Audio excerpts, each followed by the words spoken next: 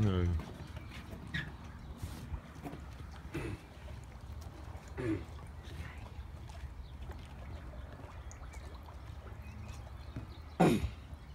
Hier een kruisnetje in gooien en dan... eh, Zit ze bomvol.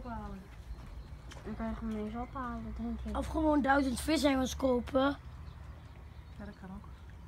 Oh, Ach, wat veel.